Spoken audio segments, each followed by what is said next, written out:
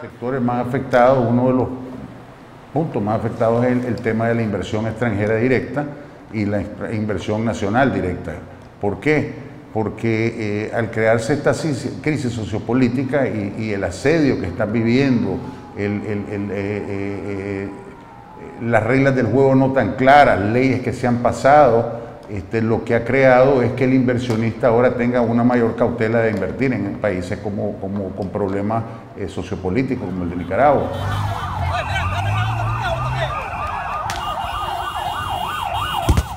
En el 2017 la inversión extranjera directa andaba por el orden de mil millones, 1.35 billones de dólares, o sea, 1.035 millones de dólares y estás hablando que en el 2020 fue apenas de 182, 183 millones de dólares. Entonces tenemos una caída sustancial desde comparada desde el 2017 a lo que tenemos en el 2020, ¿verdad?